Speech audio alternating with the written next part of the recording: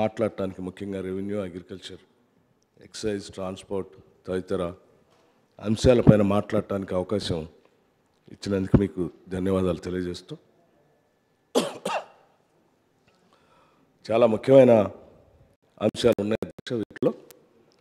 ముఖ్యంగా రెవెన్యూ శాఖకు సంబంధించి రాష్ట్రం ఏర్పడిన తర్వాత ఈ ప్రభుత్వం కొన్ని ముఖ్యమైనటువంటి మార్పులు చేపలు లేకపోతే బాగు చేయాలన్నటువంటి ఒక ఆలోచన ఉందని చెప్పి రెవెన్యూ రికార్డ్స్ అప్డేట్స్ అనేటువంటి పేరు మీద పెద్ద ఎత్తున రాష్ట్రంలో ఒక కార్యక్రమాన్ని చేపట్టింది అది.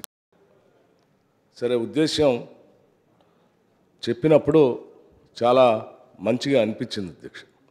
గ్రామీణ ప్రాంతాల్లో ఉన్నటువంటి అనేక సమస్యలకి ఇది పరిష్కారం చూపిస్తుంది అనేటువంటి ఆశ కూడా కనిపించింది అధ్యక్ష కాబట్టి ఈ సందర్భంలో కొన్ని అంశాలు కూడా బయటకు వస్తూ ఉన్నాయి. వాటిని కూడా సభలో మీ ద్వారా సభ దృష్టికి తీసుకొని వస్తే వాటి పరిష్కార మార్గం రేపు పొద్దున జరిగేటువంటి కార్యక్రమాల్లో కూడా చేపడతారనేటువంటి ఆలోచనతో కొన్ని విషయాలు ఈ- మీ దృష్టికి తీసుకొని రాదలుచుకున్నాను అధ్యక్ష.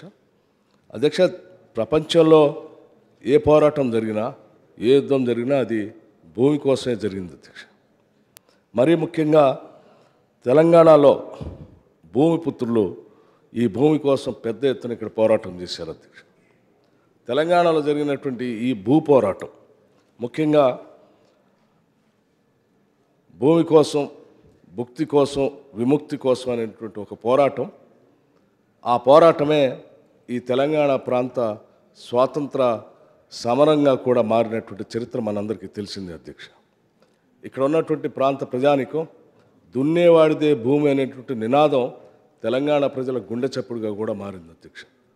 అటువంటి ఉద్యమాల నుంచి నైన్టీన్ ఫార్టీస్లో మొదలైనటువంటి ఫార్టీ సిక్స్ నుంచి ఫిఫ్టీ వన్కి వరకు జరిగినటువంటి ఆ ఉద్యమంలో అది సాయుధ రైతాంగ పోరాటం కానీ లేకపోతే ఆంధ్ర మహాసభ ద్వారా జరిగినటువంటి పెద్ద ఎత్తున జరిగిన పోరాటాలు కానీ అవన్నీ చివరికి ఈ ఈ ఈ దేశ స్వాతంత్రం కోసం జరిగినటువంటి పోరాట సంగ్రామంలో భాగంగా మారిపోయేంత పెద్ద ఉద్యమాలు అవన్నీ కూడా భూమి కోసం జరిగినటువంటి పోరాటమే అధ్యక్ష.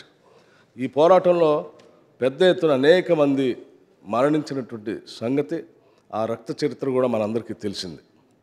అటువంటి పోరాటంలో ఉన్నటువంటి లక్ష్యాల్ని నిజం చేయటం కోసం ఆ తదుపరి వచ్చినటువంటి ప్రభుత్వాలు చాలా చట్టాలు తీసుకొని వచ్చినాయి అధ్యక్ష.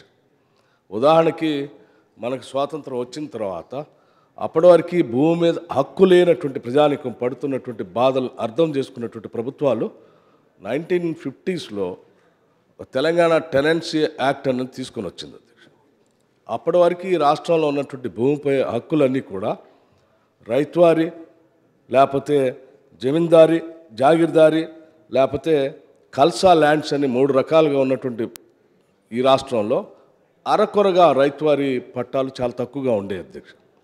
మిగతా భూమి అంతా పెద్ద ఎత్తున జమీందారుల పేరు మీద జాగీర్దారు పేరు మీద లేకపోతే వాళ్ళ ఆధ్వర్యంలో వాళ్ళ కింద వెట్టిగా పనిచేసేటువంటి తెలంగాణ ప్రాంతంలో ఉన్నటువంటి రైతులు సాగు చేస్తూ ఉండేటువంటి వాళ్ళు ఆ శిస్తు కట్టలేక తర్వాత కాలంలో వాళ్ళని వెట్టి చాకరిగా మార్చినటువంటి దృష్టాంతం కూడా ఉంది. అలాగే దాంతోపాటు కల్సా అంటే నేరుగా ప్రభుత్వానికి సంబంధించిన భూముల్ని జమీందారులు దేశ్ముఖ్లు అండ్ దేశ్ పాండేలు కూడా. వాళ్ళే నేరుగా వాటిని అడ్మినిస్ట్రేట్ చేస్తూ వాళ్ళ కింద కొంతమంది రైతులను పెట్టుకొని సాగు చేయించుకునేటువంటి పరిస్థితి ఉండేది అధ్యక్ష. అయితే వీళ్ళు ఎవరికి కూడా భూమి మీద హక్కు లేదు పట్టా కూడా లేదు అధ్యక్ష. హక్కు పట్టా అంతా కూడా పెద్ద ఎత్తున వీళ్ళ పేరు మీద ఉంది జాగీర్దారులో లేకపోతే దేశపాండేలో దేశ్ముఖుల పేరు మీద ఉండేది. హక్కు కోసం ఆనాడు దున్నినటువంటి ప్రతి రైతు కూడా సన్న చిన్నకారు రైతులు తెలంగాణ ప్రాంతంలో ఉన్నటువంటి వాళ్ళంతా కూడా